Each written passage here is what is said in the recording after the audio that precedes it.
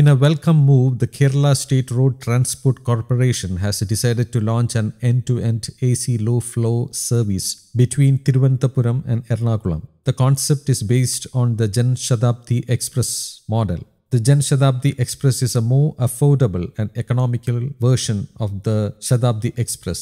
The word Jan refers to common people. Jan Shatabdi is an economical version of the Shatabdi Express. It provides the passengers with an air conditioned chair car, second class seating, and unreserved classes. Moreover, for the first time in the history of KSRTC, this service will operate without a conductor. Except on holidays, the service is scheduled to start from Thiruvananthapuram at 5:10 am and reach Ernakulam at 9:40 am. The return trip will begin at 5:30 pm and reach its destination at 9:50 pm. KSRTC has allocated two buses with pushback seats for the service.